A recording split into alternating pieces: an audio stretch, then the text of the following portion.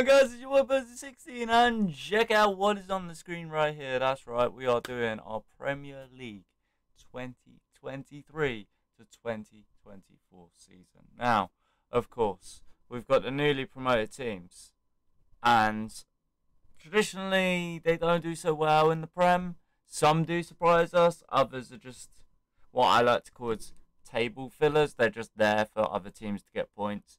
So we've obviously got Luton. Fair play to you guys, any Luton fans. I don't know who watch my channel and stuff, but gotta be said, Luton get into the Prem. Okay, they did it at Wembley. Yeah, but still they did it. So fair play to Luton. Welcome to the Prem. Um, now my big thing: Are they gonna have the squad depth to survive in the Prem? Am I going to put them mid-table? Am I going to put them in relegation? I feel like everyone's going to go for Luton to go down just because they're such a mediocre club I don't mean that in any disrespectful way, shape, or form at all, but let's face it, they are. Um, I feel like Wolves might struggle this year as well. They just got a brand new manager, I believe it's Gary O'Neill. But yeah, so who have I got going down?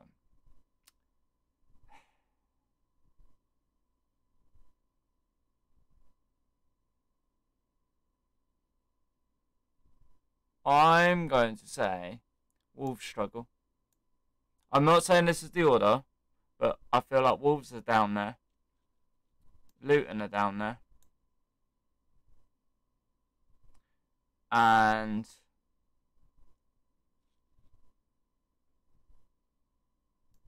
Palace without Zaha. now, hear me out, hear me out, right? You might think that's crazy, but Zaha carried their team. They may be losing Olise to Chelsea.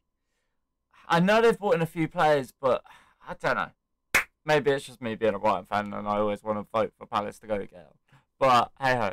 Anyway, so that's the uh, relegation tier confirmed. Done. Locked in. Bosh. Next, we got 13 to 17th. Who survives relegation? Everton. They are just that team. They are that team that will not ever change. They're never ever going to change their philosophy. They're never ever going to do better than they do. Two seasons in a row, they've escaped on the final day of the season by winning their game. They just love to give their fans freaking drama. I feel like they want to be the dramatic team of the Premiership.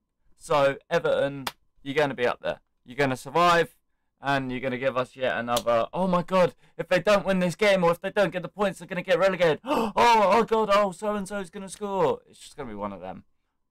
Now, here's where it gets tricky. Forest had a good season. Fulham had a good season. Brentford had a good season, but I'm putting Bournemouth next. They're going to finish 16th. Now, Forest in 15th. And I'm going to put Sheffield United controversially to do well and be 14th. But, as I say, these are just my predictions. Palace you can argue with to the you're blue in the face. I don't care. They're going down. They're done. They're, they're goodbye. They're gone. you had a nice time in the Prem. Now go down to the Championship. Thank you. Goodbye. Alright, so. Fulham without Mitrovic. Brentford about Ivan Toney. Burnley come back up to the Prem. Vincent Kompany is their manager. Honestly, I think I'm okay with that. 17th, 16th, 15th, 14th. I don't know, Fulham. I'm going to put Fulham there. Look, we've still got Villa, Burnley, Brentford, Brighton, Newcastle, West Ham. West Ham finishing 12th this season. Fair play, Joe. Fair play, West Ham. Won the conference. Fair play to you. You did a good job. But you know, I can't move anyone, but yeah, let's pretend that's 12. Brentford, 11th. Now, this is where it gets interesting. Villa, Burnley, Brighton.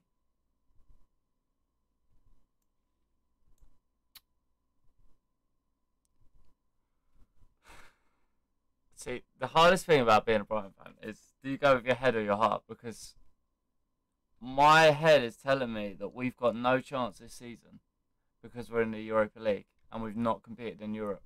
And there's a massive, massive chance that we're going to lose Caicedo. Massive chance. I mean, you could look at Dahoud as a Caicedo replacement. We've got Milner. João Pedro's looking brilliant. I know it was only preseason, but he looked solid, especially in the Rayo Vallecano game. Him and Welbeck combining. But our squad depth worries me. I'm sorry to say it. I know that people might message me or might leave a comment and who are Brighton fans as well. Please do, but our squad depth is worrying me so much. We need extra staff. Like, Kudus, please come from Ajax. You've agreed to personal terms. Where the frick is he then? Why is he not on a plane? Why is he not at Brighton?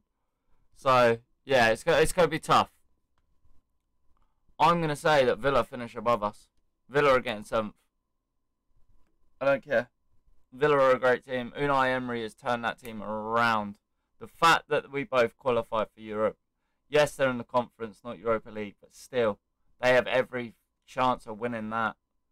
If they can balance, eh, if any of these teams can balance European football with the Premiership, it's going to be tough. It's going to be a tight. And it, it, I will say this: strap yourselves in. This season could be one of the greatest seasons we ever see, or it could just be. Well, I'm not going to say who we all think are going to win the league or who I think is going to win the league, but I think you can guess from uh, what I was about to say there. So, yeah, it could be one team walks away with it. It could be a couple of teams are up, down, up, down, up, down, like the Arsenal, Man City last time. Man, Man City have what can't remember what it was because my ball knowledge sucks, but I had a gap to fill with Arsenal, and Arsenal bottled it, and Man City went above them. Then Arsenal kept dropping points and dropping points. They lost to us at the Emirates. That made them drop further down. So you're welcome, Man City. We helped you win your league title. I'm just saying we did. Oh god. Right. So anyways, there's the relegation. Palace, Luton, Wolves. Sheffield United finished 17th, 16th, 15, 14, 13, 12, 11, 10. Brighton get ninth.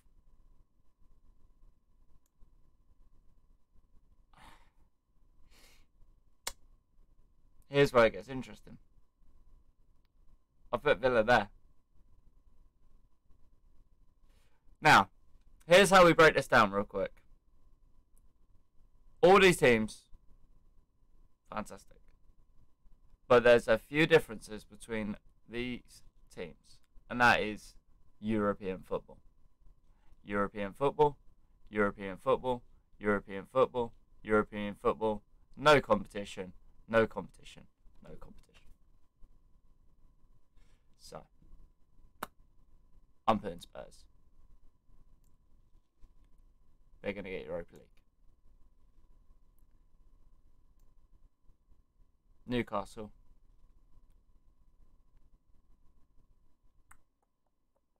I think Newcastle have a good season. I really, I really think Newcastle have a good season. They're going to be up there with Man United, which means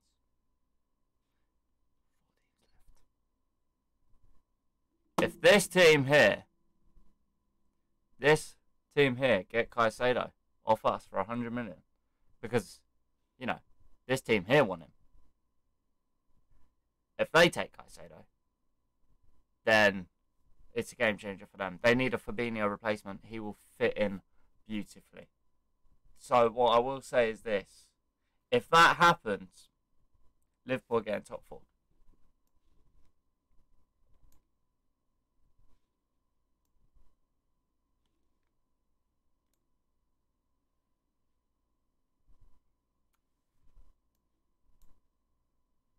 I think Liverpool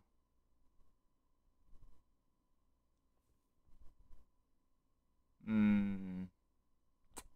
Do I think Liverpool have got a better squad than Arsenal? I'm gonna obviously uh, City are gonna win it.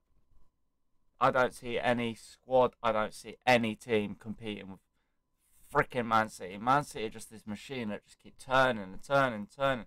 They get setbacks. They get injuries. they just bring out some other players. Their recruitment, not their recruitment necessarily, but they're like academy. They're young players come through the system. So for that reason alone, City are winning it. The thing that I can't debate is where I want Arsenal to finish.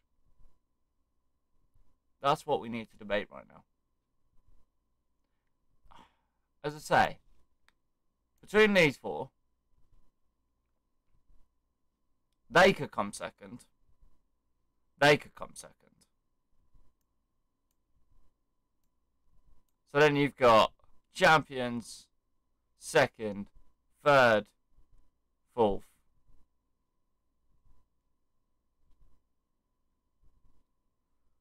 It's where I put Chelsea because Chelsea without European football, Chelsea if they can get Mudryk, who I have seen playing friendlies, I've seen him playing that uh, Ukraine friendly as well.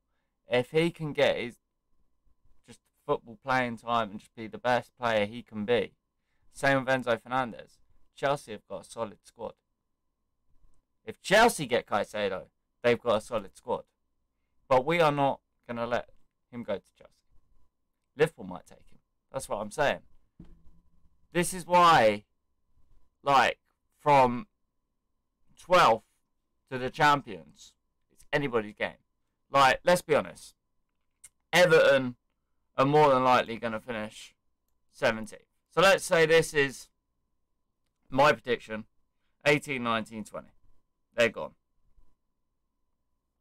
17, 16, 15, 14, 13. 12th, 11th, 10th, 9th. I think we get 9th. you know what? I'm going to make a late switch. I don't think they get 7th. I think they get 8th. I think Chelsea get 6th. Tottenham 5th. 4, 3. Liverpool are going to be runners up this year as I say, all depends on transfer. The transfer window is not shut, which is ridiculous. Season kicks off in less than 20, well, just over 24 hours for the Burnley Man City game. But what I'm saying here is, all that matters is I'm being honest, and this is this is crazy, crazy to say. For me, all that matters is Caicedo. Whoever signs Caicedo has a chance, a slim chance. Don't get me wrong, because he's one player but have a chance of upsetting the momentum of Man City. But here's how I see it Man City have now won the Champions League. They've finally ticked that box. They've got rid of that nightmare that's been eluding them for years and years and years. So they've done that. They've won the domestic treble. Tick that box as well. But this year, there's something up for grabs. And if they don't win the title, it's off. Man City have now won it three years in number four. Can they get number four? No club in the history of the Premiership has won four. Man City, if they win this year, have done it. So that's why, if Haaland's banging in goals for fun, mate, that guy is a cheat code last season. He was scoring for fun. He was scoring tap ins, penalties from outside the box, headers. He was bullying players. He was ridiculous. If he has that same season, who will stop Man City? That is the biggest question in the entire Premiership. Who is going to stop Manchester City from dominating? That is the key word here. They are dominating. It's not like they're slipping up. And even if they do slip up, other teams slip up and they still manage to get back up. They could have a 20 point gap and still close the gap with like 10 games to go. They're ridiculous. They've kept Kyle Walker. They've lost Riyad Mahrez. They've lost Gundogan. They've got Bernardo Silva, Jack Grealish, obviously Haaland, Kevin De Bruyne. Their squad is stacked. But again, I feel like no one, and I mean no one, is stopping this Man City side. So once again, just to go through it because I have made a few little screw ups, and that's that's me. I, you know, hold my hand up. I don't use this. Normally I use a chart, as you guys would have seen, but I decided to use this. So, let's go over it. 20, 19, 18. I don't know the order. Yes, Palace are there. They're probably going to fucking finish 11th, let's face it, but I'm putting them there. Everton, just above the drop zone. I don't care. They're finishing 17th. This lot can fight it out, but that's where they're finishing. 16, 15, 14, 13. 12, 11, 10, Brighton and 9th, Villa and 8th. We're going to have a little topsy-turvy. I've put West Ham up there as well. But they, they're strike force. I think they had Haller, that's Dortmund's player. He's banging in goals for fun. For West Ham, he didn't really do much. Scamacca's gone to. Scamacca's gone anyway. He he has one season there. He couldn't leave quick enough. So I don't know. They've obviously sold Declan Rice. He's gone to Arsenal. Is it going to hurt them? I don't know. I mean, I thought they'd come in for Caicedo. It seems like every other Tom, Dick, and Harry wants our Caicedo. Where will Caicedo go? Where will the money that Brighton get for Caicedo be invested in? And will we ever see Kudus in a Brighton shirt? These are all questions we're going to find out the answer to by the end of the season. And I will come back to this video and I will say I got some of that right. Obviously, most of that is going to be wrong. Obviously, Palace. Um, sorry, but it had to be done, didn't it? Come on, it's just banter. But yeah, uh, I'm hoping that I've got some of that right. We, I'll try and figure out how to do like a little point system, even if I get a pen and paper or something. Get three points for a right answer, no points for a wrong answer, and one point for being like one place off or something. We'll work it all out. Anyways, guys, let's just sit back, relax, and enjoy the ride that is the Premiership season 2023 2024. Remember, guys, please feel free to roast me in the comments. I don't mind that. And I'll catch you in the next video. Take care, guys.